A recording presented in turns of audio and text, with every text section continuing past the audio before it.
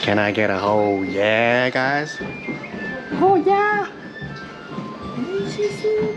The kamameshi is cooking, which is the stone pot with the rice. And we're gonna eat some nice stone pot rice in a second. Nice, nice light fish with some scallions. Oh yeah. Now we're gonna take the aji fish. We're gonna do some shabu shabu in the mouth, guys. Mmm. Nice bouncy, bouncy fish. Good shoyu. Good greens. Good, good crab balls. Oh yeah. Melt in your mouth crab. Nori? Maguro? Gohan? Oshinko?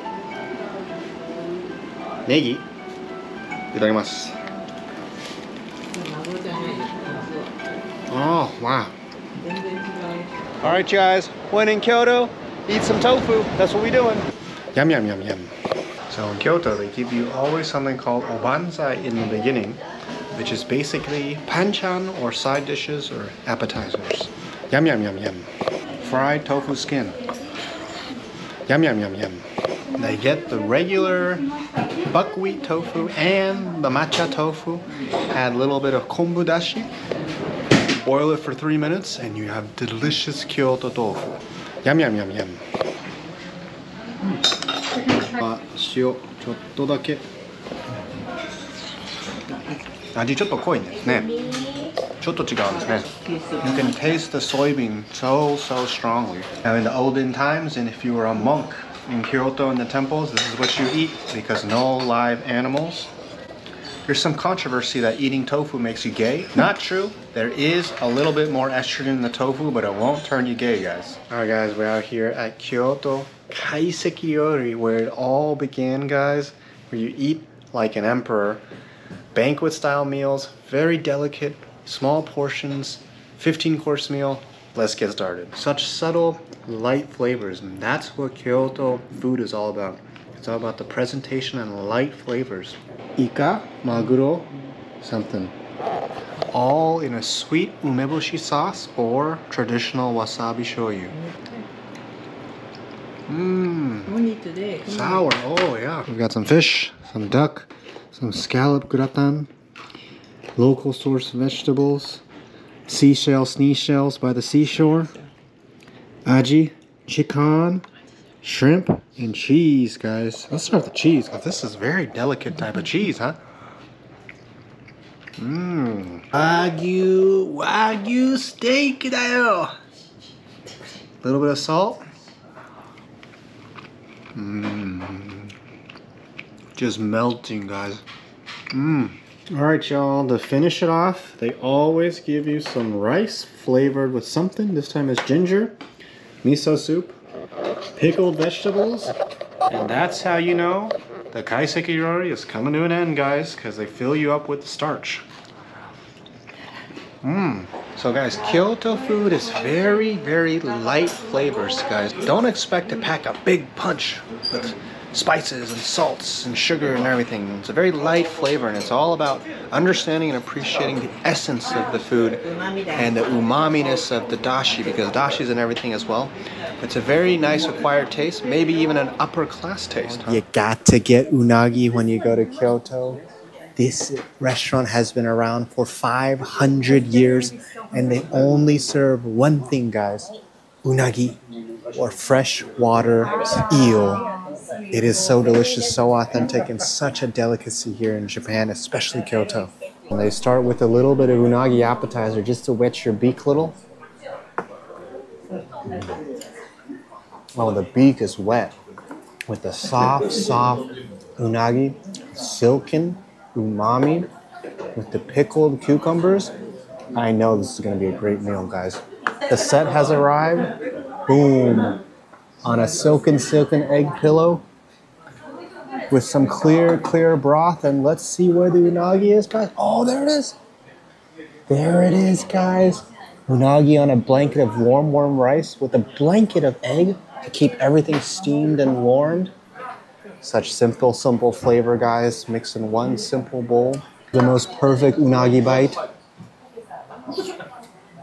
Mm. Oh yeah. This is real unagi, guys. A lot of people sell fake unagi, but you can tell it's real. Tiny, tiny bones that you just chew right through. Soft, soft unagi. The taste of the charcoal and the grill is there. Let's try the egg too. Mm. Guys, the fried egg soaks up the unagi flavor too. What a delicious, delicious bowl, guys. And now a lunchtime by the river. Can't get any better. Here we are, guys. Dinner time. Can't get any better. With the little lanterns and the little river. I look so good with my beautiful wife right here.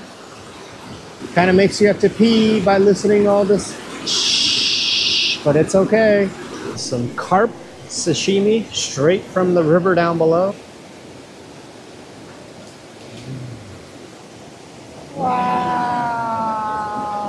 Wow.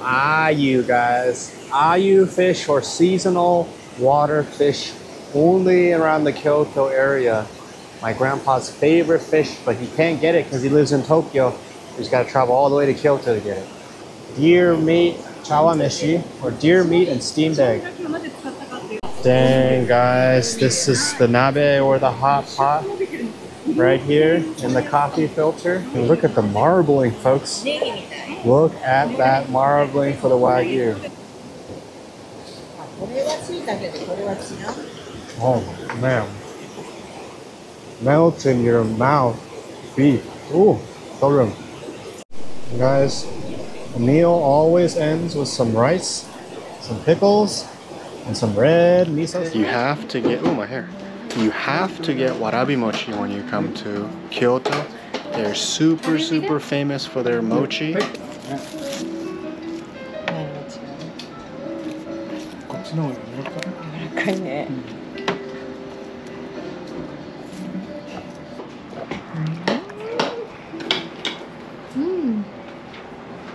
Mm. Red bean warabi mochi. Very, very melty in your mouth. Oozy, sweet, cold, delicious.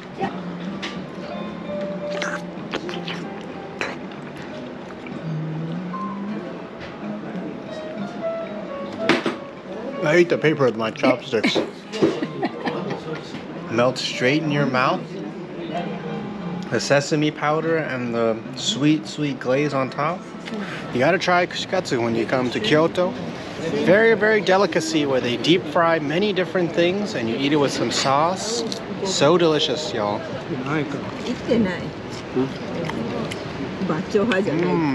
Mm. Fresh, fresh, bouncy shrimp. Mm. You might hide. Look how small this is, guys.